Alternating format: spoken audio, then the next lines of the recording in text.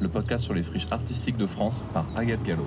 Pendant près d'un an, Agathe Gallo a vécu dans son camion et suivi une longue route hors des sentiers battus qui s'achève au Clos La Pérouse, un tiers-lieu ouvert en 2021 à Rochefort. On va essayer de présenter comme une audio description de ce qu'on voit autour de nous et de ce que représente ce bâtiment. Avant d'en arriver là, Agathe Gallo a parcouru 4500 km. Un tour de France en 30 étapes, de Poitiers à Lille, en passant par Brest et Toulon, avec à chaque fois, pour débuter son histoire, une visite sonore guidée. Bonjour, je connais pas votre prénom. Aurélie. Aurélie, enchantée.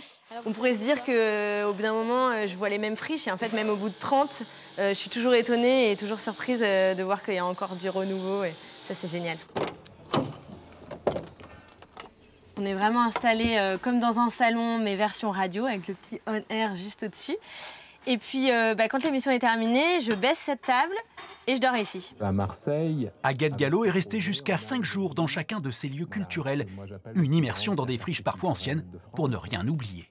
C'était aussi de réussir à voir les fondateurs, donc de mélanger un peu toutes les générations de toutes les personnes qui étaient passées par euh, ces lieux-là, et de réussir à offrir quelque chose d'une heure, euh, de l'ordre d'une archive sonore, et de laisser vraiment une trace de ces lieux qui euh, sont vraiment magiques. Le podcast d'Agathe, en une heure, permet à chacun de s'exprimer et de prendre le temps d'aller un peu plus loin que si on n'avait que 25 secondes pour présenter un lieu aussi complexe que celui-ci et que tous ceux qu'elle a présentés.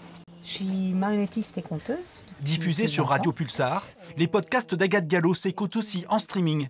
30 épisodes pour découvrir une certaine France culturelle.